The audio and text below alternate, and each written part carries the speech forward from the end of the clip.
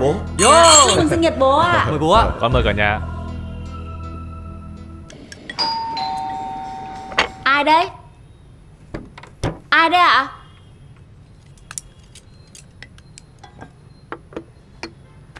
Bố mẹ ơi. Hả? Bố mẹ. Bố mẹ Bố mẹ ra ngoài xem đi ạ. Cái gì thế? Mọi người nữa Mọi người ra ngoài đi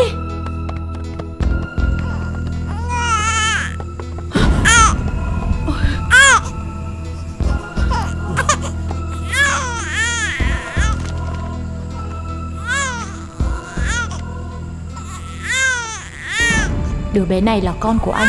Mong anh hãy nuôi nó lớn khôn. Mẹ! Còn cả nhà nữa Tại sao cứ nhìn tôi thế? Minh Điện thoại của chú đâu? Đây ạ. Con định làm cái gì đấy? Gọi công an chứ còn làm gì nữa à? Ừ, đúng rồi mẹ ạ. Cứ phải gọi công an Không thể để chúng nó đùa cợt nhà mình như thế được. Bé bé cái mồm thôi.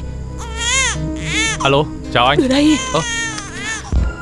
Alo Xin lỗi đồng chí nhá. Các cháu nhà tôi nó gọi nhầm số. Này Mày làm này, cái gì đấy? Này bà Con nó làm như thế là đúng đấy. Tại sao bà lại ngăn cấm thế? Ông bé bé cái mồm thôi. Thế bây giờ ý bà định thế nào? Mặc tôi. Ê, mẹ mẹ. Mày đừng có đụng vào. Tại sao mẹ cứ vội vàng như thế? Biết thế nào được? Mặc tôi. Bà đây bà đây. Ừ bà yêu em. Ừ bà yêu em. Nào bà xem Bà xem nhá Hả? Hả?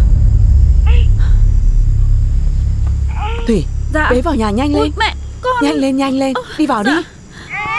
Không thể chịu được nữa rồi. Rồi ôi chị dỗ nó đi cho tôi nhờ.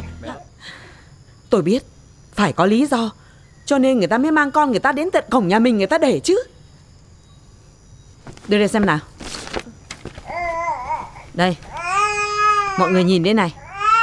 Cái bớt này này Dấu tích đầu tiên đấy. Thấy chưa? Ui giời mẹ ơi Cái bớt này ấy, Con cũng có. Khổ quá. Mà bố, Đại và Minh Thậm chí các bác các chú trong họ nhà mình Cũng đều có hết. Thôi Đây là chuyện nghiêm túc không thể đùa được. Tôi phải suy xét từng ly từng tí ấy chứ. Đấy Các anh đã thấy chưa? Thấy nhục nhã chưa? Chơi bời không biết giữ gìn. Để xảy ra hậu quả thế này Các anh có nghĩ đến không hả Ôi giời ơi Rơi vào cái ngày nào không rơi Lại rơi đúng vào cái ngày sinh nhật của bố các anh cơ chứ. Thôi bà ơi Bà nói nhỏ thôi tôi cũng đau đầu lắm. Bao nhiêu năm xa nhà Bây giờ mới được tổ chức sinh nhật. Vậy mà. Mẹ ạ Con có ý kiến thế này. Nếu thực sự Đứa bé này là con cháu của nhà mình Thì đấy là lộc của trời cho. Mà đã là lộc ấy Mình không nhận mới là có tội. Con không hiểu tại sao Mẹ lại nói là nhục ạ. Không có nói nhiều nữa. Bây giờ nào Trong ba anh Anh nào dũng cảm nhận đây là con của mình đi. Em, Dạ. đứa bé này mấy tháng rồi nhỉ? Ừm, Chắc khoảng 7-8 tháng thôi anh ạ. Mẹ Thế thì mẹ yên tâm. Cái thời điểm hơn một năm trước Con và em Thủy đang cuống cuồng lo chuẩn bị đám cưới. Thế thì làm sao mà có chuyện đó được À dạ đúng đúng rồi mẹ ạ. Cái thời điểm đấy á Con với anh Lâm ngày nào cũng Ê, Cũng Ờ. cái gì? Ờ,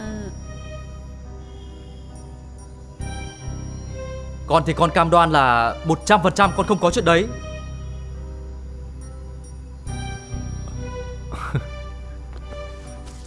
Thế tóm lại bây giờ Tất cả mọi nghi vấn đều đổ dồn vào con phải không ạ? Đúng là như thế đấy. Anh còn nhớ cái chuyện xảy ra đầu năm không Chuyện gì hả bà Anh hãy thử lấy mẹ con em. Anh Đại ơi! Con đã nói với mẹ rồi. Chắc chắn cái thai không phải là của con. Cô ta cố tình vu oan để bắt con đổ vỏ mà. Anh không chơi bời tự dưng nó vác cái bụng đến nhà này nó ăn vạ à? Bố yêu cầu bằng mọi cách Phải tìm được mẹ con bé về đây. Không thể để cho người ta chịu thiệt thòi như thế được. Bố không sợ hàng xóm người ta chê cười. Nhưng mà chúng ta phải biết xấu hổ với mẹ của con bé chứ. Bố ạ. Theo con không việc gì mình phải làm như thế cả.